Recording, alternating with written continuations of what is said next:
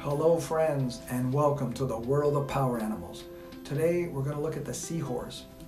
There are 49 species of seahorses throughout the world. They are found in calm coastal waters near coral reefs, mangroves, and estuaries. Seahorses have a horse-like head, long tubular snouts, a flexible tail, and eyes that can see in opposite directions. Their bodies are covered with consecutive rings of bony plates, while their tails are used as anchors in stormy seas. Seahorses swim very slowly, propelling themselves forward vertically using a soft dorsal fin. They rely on camouflage to ambush prey and to avoid predators. Seahorses are very caring parents.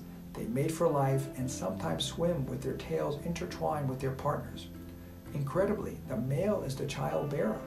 The females deposits their eggs into the male's stomach pouch. The male releases his sperm to fertilize the eggs. The male seahorse incubates the eggs by providing oxygen and nutrients until they're ready to hatch as fully formed seahorses. When the time is right, the father has muscular contractions to expel the young fry, sometimes in large numbers. Like a knight in shining armor, seahorses are captivating and charming. They are self-reliant and blend beautifully into their environment.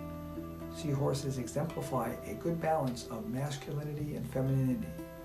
They are symbols of good luck, patience, persistence, and protection. Call on their spirit when you want to be a better life partner. Visit our website for a power animal reading and to learn the power that animals can share with us. You'll be amazed. Thank you and have a great day.